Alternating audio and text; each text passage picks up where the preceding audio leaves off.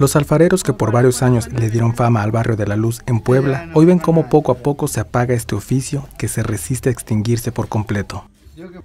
En la calle de Juan de Palafox y Mendoza del barrio de la Luz se encuentra uno de los pocos talleres de alfarería que se mantienen activos. Ahí se fabrican principalmente cazuelas, atoleras, mezcaleras, vajillas, jarros, candeleros y trabajos especiales para restaurantes, recuerdos o eventos especiales fabricados con barro proveniente del municipio poblano de Amozoc. Las piezas van desde 1 hasta los 65 kilos, con un costo de hasta 1.300 pesos y cumplen con las normas oficiales mexicanas. De acuerdo a publicaciones del Fondo Nacional para el Fomento de las Artesanías, la alfarería es uno de los oficios más antiguos de la humanidad. En México, se estima que el oficio data de poco más de 4.000 años.